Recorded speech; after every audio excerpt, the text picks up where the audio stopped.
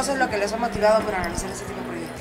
Hemos recibido ya antes un reconocimiento sobre el tema del agua, pero para nosotros el reconocimiento de Perú 2021 es muy importante. Eh, nosotros eh, ya estamos distribuyendo el agua y esto lo, lo, que hace es destacar el esfuerzo de la empresa justamente en el compromiso que tenemos con la comunidad de Chilca. ¿no? Sí, ¿en qué, ¿Cuál fue su motivación principal?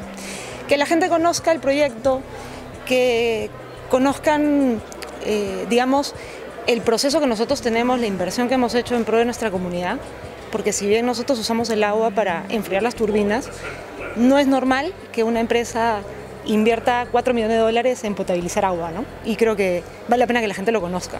¿Por qué le invirtieron esta cantidad de dinero? Porque creemos que era un aporte social muy importante para la comunidad, para nuestra comunidad, nuestra zona de influencia y ha sido así. ¿Hace cuánto tiempo que, que realizan este proyecto con zona de influencia? Que, que lo vienen implementando.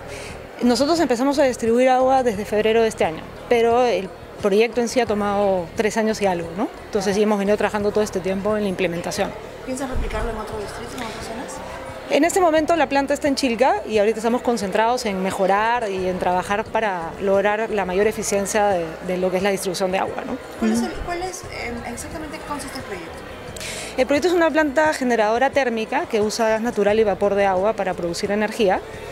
Eh, nosotros lo que hacemos es enfriamos las turbinas con agua de mar y ahí tenemos un subproceso, digamos, que desalinizamos el agua que usamos para el proceso de generación de energía y luego lo que hacemos es parte de esta agua nosotros la potabilizamos para consumo humano.